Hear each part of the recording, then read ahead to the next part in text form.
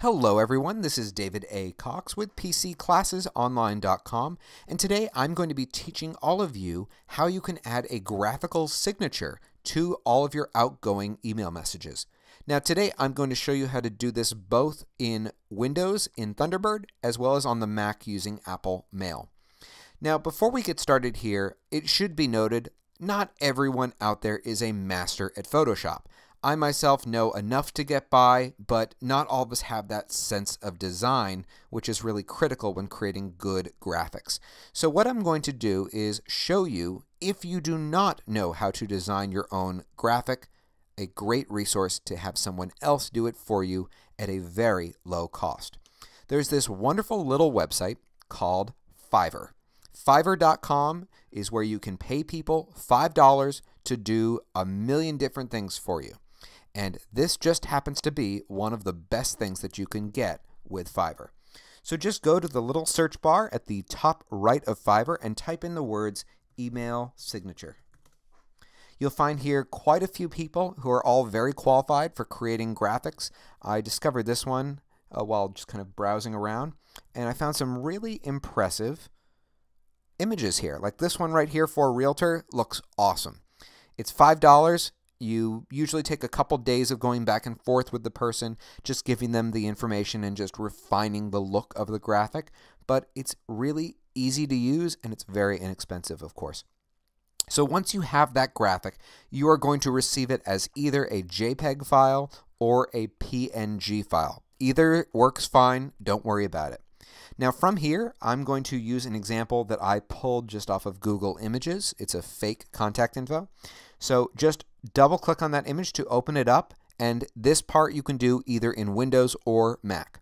From here, you're going to copy the image by going to Edit and click Copy. Now let's go over how to do this on the Mac side. Go into Apple Mail, click where it says Mail at the top left of your screen, and go into Preferences, which is the second item down. From here, you have several tabs at the top click over here on the right hand side on signatures and click on the little plus symbol that you see here in the middle. You can name your signature whatever you want. I'm just going to call it graphic. And now any text that you see here in this box, you can just delete. So just select it and delete it. From here, it works the exact same way that a Word document works. So you're going to hit Command and the letter V as in Victor to paste it. Now, there's only a couple more steps. You need to take this right here where it says graphic, or however you name it, and drag it into your email address right here. Now, click on that email address. Go down here to the bottom where it says choose signature, and you want that to be the default option. And of course, make sure this box here is checked. So now when I close this out and I create a new message, you will see that my graphic signature is now automatically added to the bottom of every outgoing email. Now let's go over how to do that in Windows.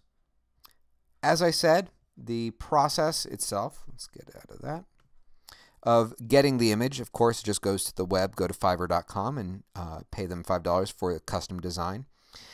And when you have your image, double click on it, copy it, and now in Thunderbird, here's the final steps. Go up here to where it says Tools at the very top and go down to Account Settings. On the very first tab, which should be your email address, and don't bother emailing that address, it's purely used for demonstration purposes. Down here, you will see attached signature from a file instead. You're going to check that box, hit choose, and just simply point it to that particular graphic. That's all, everyone. I hope you enjoyed this little video. If you happen to be watching us right now on YouTube, if you want to give us a little bit of support, a little bit of love, you can click on that little like button uh, at the bottom of the video. And if you haven't done so, make sure you check out our website. We're a completely free online service. We offer live and pre-recorded classes, and we have members in over 160 countries. This is David A. Cox with PC Classes Online. You all have a wonderful day. Bye-bye.